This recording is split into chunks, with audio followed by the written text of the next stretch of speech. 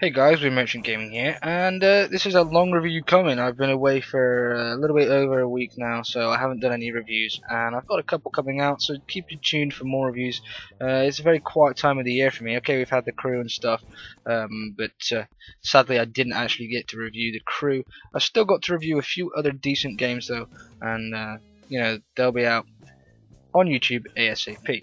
Anyway, this is Tennis in the Face, and this is brought to us by 10 Tons Limited, the same company that, or uh, publisher, developer that brought us a Sparkle and Crimsonland, and uh, as well as a few other titles. Now, this game is available on PlayStation 4, and this is the version that I played. However, it's also available on other platforms, uh, more specifically mobile platforms, mobile phones, tablets, and uh, more, which is kind of like uh, what this game looks to be. It looks to be a mobile platform type game, but it still works well on PS4 and it's still a great title. So you play as Pete, this guy with the blonde hair on the bottom left, and your goal is to go against uh, a dangerous uh, drinks company that's trying to take over the world.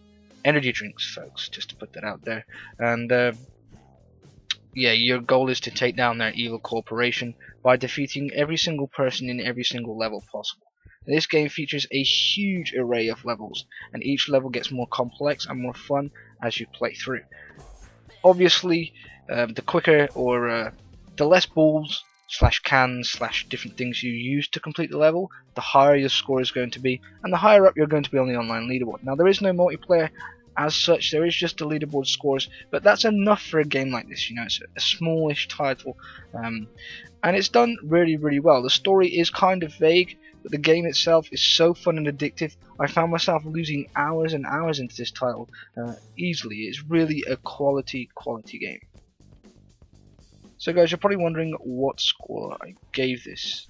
Well, this game gets an 8 out of 10 for me. It's a really solid title. As always, like, comment, subscribe, check out my written review, which will be down in the description below. And, uh, well, partially, the link will be there. Click on the link, that'll send you to gamerheadlines.com, and from there you can read my various reviews that I've got going on. So as always, like, comment, subscribe, check out my other videos, and I'll see you soon guys. Cheers.